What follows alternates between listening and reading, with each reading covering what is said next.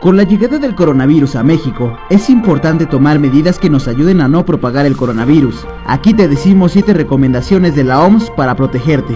Debes lavarte las manos con frecuencia, durante al menos 20 segundos. Aunque suele ser difícil, es importante que evites tocar tus ojos, nariz y boca.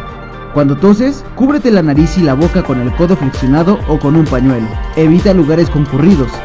Si tienes algún síntoma leve como fiebre y tos, es mejor quedarte en casa. Si la fiebre y tos son altas y presentas dificultad para respirar, busca atención médica pronto, pero llama antes al 800 0044 800, número proporcionado por la Secretaría de Salud.